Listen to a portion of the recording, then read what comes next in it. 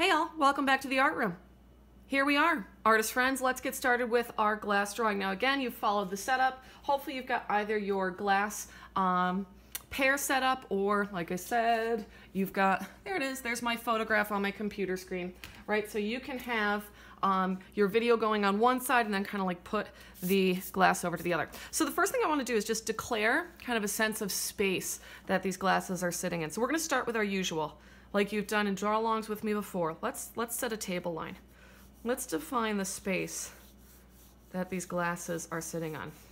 Now, why is this draw along so tricky? Well, glass is tricky, right? Because glass is see-through, yet solid, it's reflective, it's shiny. So there's just a lot of really complicated stuff happening with it. But no worries, I'm gonna help you break it down and we're gonna end up with a really beautiful drawing when this is all done. Again, you can be working on lined paper, computer paper. Um, like I said, oh, visit that recycle bin, guys. I'm telling you, the backs of some of these junk mail letters are great paper to draw on, okay? You don't have to have anything fancy. And remember, all drawing practice is good drawing practice. We're not talking about perfection here. We're not, this is like practicing your musical instrument. We're keeping up those visual observation skills and those fine motor drawing skills that we've been working on all year. Okay, so the next thing we're gonna do is we're gonna draw in our glasses. Okay, now looking at my photograph here, I'm gonna mark in kind of the basic height. I think that my one big tall glass is. Okay. And he kind of goes like the edge here to, boy, just about the top the picture frame up there. So I'm just marking in the height of the glass. Okay, I'm gonna do the same thing for my shorter glass. My shorter glass goes in front of my tall glass. Ooh, some simple perspective.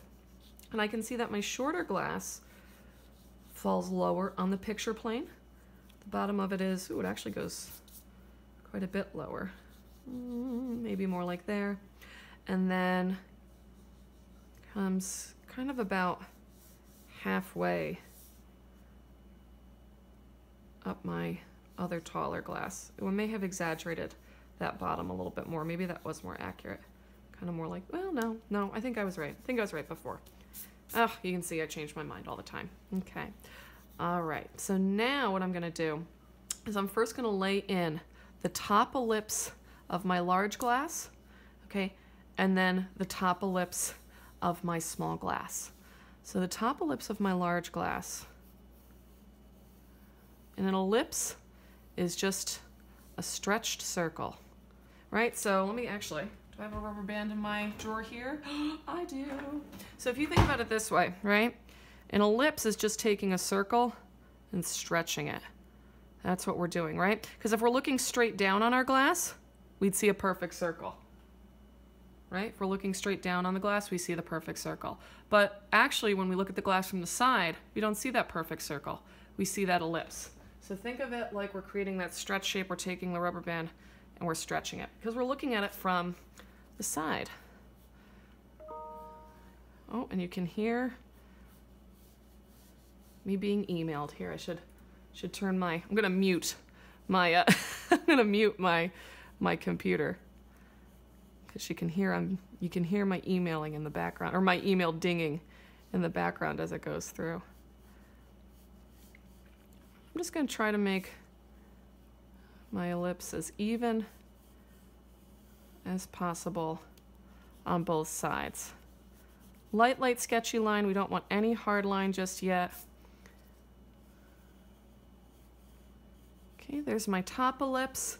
Now I'm gonna figure out, now my ellipses are approximately the same size on these glasses. Not, not quite, the bottom one's a little bit wider, ever so slightly.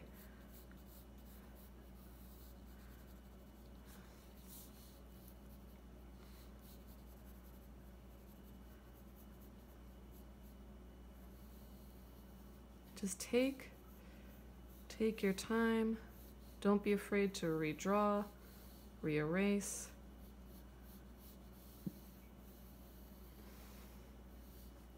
your bottom curve and your top curve like kind of match almost, for lack of a better term.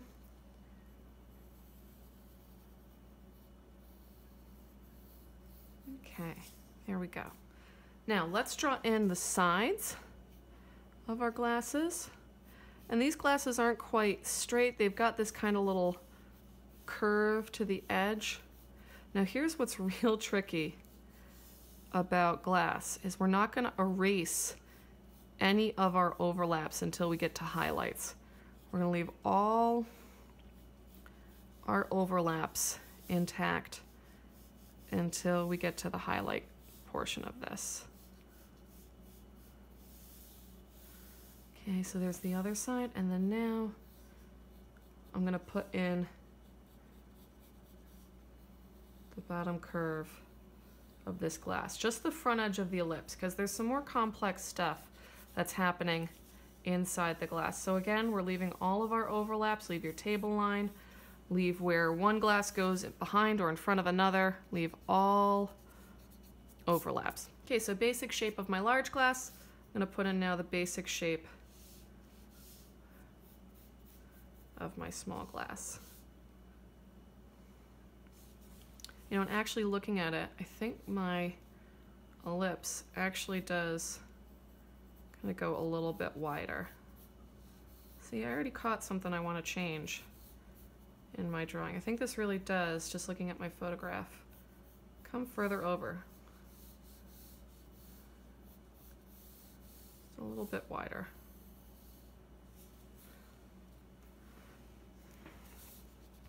Comes a bit wider over. Bit wider over this way.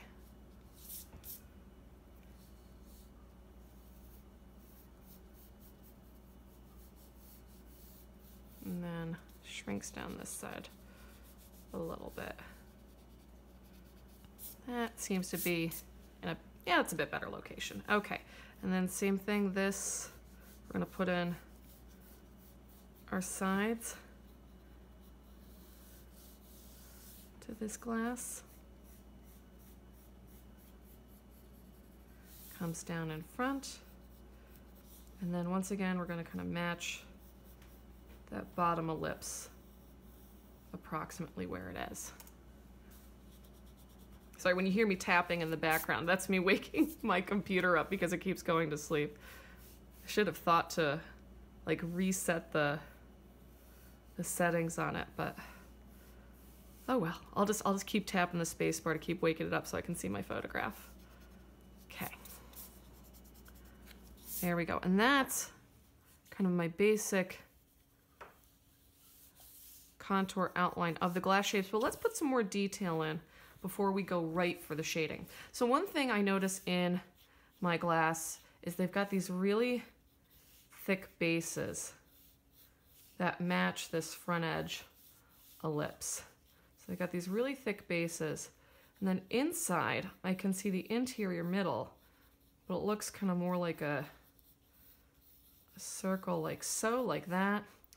And then on this one, I see kind of this ellipse through here, and I see more of a squished center.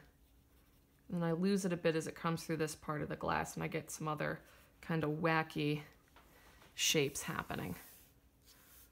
Okay. There we go. Okay. I'm just going to lighten my contour outlines a little bit. And the way I'm going to do that is I'm going to take my eraser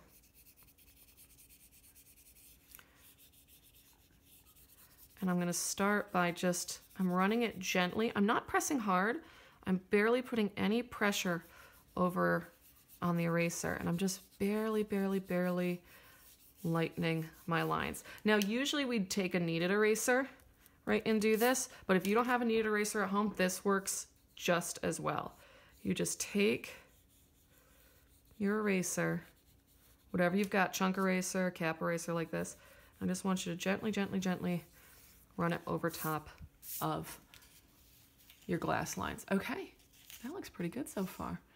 All right, now it's time for us to start some shading work. Okay, so take time, finish your basic contour outline, and then we're gonna go into the next video to start looking at some uh, form shadow, focusing on not only creating just an overall form tone to this glass, but then working with some um, darker values and um, lighter highlight values within the glass itself. All right, so take care. See you again soon in the art room. Bye bye.